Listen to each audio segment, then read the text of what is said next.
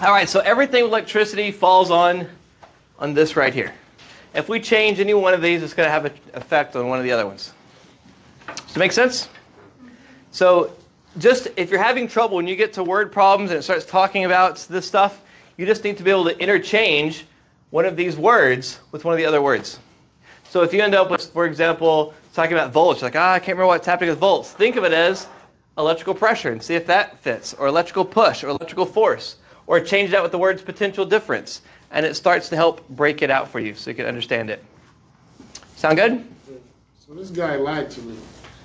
I tried it one time, but not really tried it. One, they say, like when you're doing working on electricity, they say one two um 120 won't kill you, 220 will. 120 can definitely kill you. But I got shot with 120 and I died. You know what I mean?